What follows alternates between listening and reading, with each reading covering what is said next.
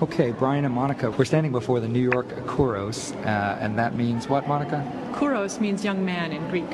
Okay, so this is a general term that refers to the sculpture of a young man. okay, so sculpture of a young man. So we walk up to this, not recognizing it as a portrait of an individual, No, this is uh, really a type, an idealized male form. but a man, not a god. Absolutely, these are uh, believed to be uh, grave markers. And I, of course, the one thing you can't escape when you walk up to it, it's nude. Absolutely. So the taking off of the clothing to focus on the ideal young male form. So if it was a portrait, it might be a little strange to have the man being naked, right? In a Kenneth Clark interpretation, the difference between the naked and the nude, right? Rather than someone without clothing, the nude is an ideal form. Right, focusing on the perfection of the human body. And the young man, so an expression in, in a very narrow range of a man around 20 years old. Yes. Okay. Um, now, the first thing we notice about it's extremely frontal. It only makes sense from the front. So it's not meant to be experienced in the round, Right. only from the front or the back. Oh, yes, that's, that's correct. And in an Egyptian posture that is undeniable, right? The hands kind of locked to the sides, the stepping forward with the knees locked, and even the headdress that looks Egyptian. Right, and even though he's stepping forward, that weight is balanced perfectly um, over both feet. It doesn't look as though he's really about to, to, to walk somewhere. So we wouldn't mistake this for an Egyptian statue because of its nudity and, as you mentioned, because of the naturalism of the posture. Correct. But but no nobody's denying that it comes from an Egyptian influence. Yes, because we see many Egyptian sculptures with this very kind of pose. Okay, so a transitional moment for Greek statuary between what's known as the geometric period or the Orientalizing period in some uh, uh, vocabularies to the archaic, so a starting of a new period.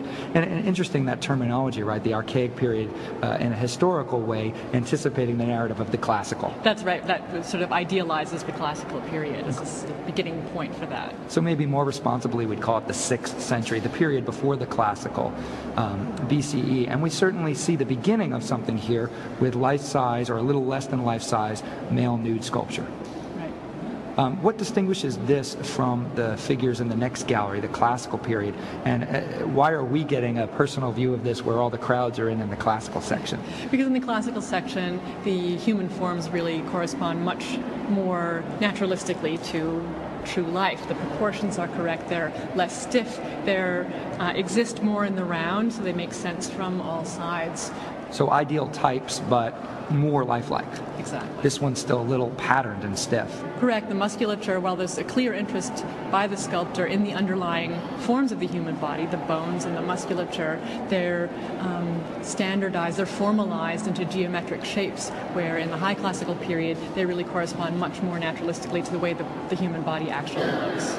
And that design even carries over to the face, right? So the face looking a bit like a mask, even with a bit of that forced smile that they call the archaic smile. Exactly, and the, the stylized eyes, the eyebrows that continue right from the side of the nose. And again, as you mentioned before, the hair as well, which has been stylized into these perfectly regular sort of beaded rows. So we would expect in the classical period to see still idealized young male figures, but we would expect to see them less patterned or abstract, Right, much more naturalistic. much more naturalistic.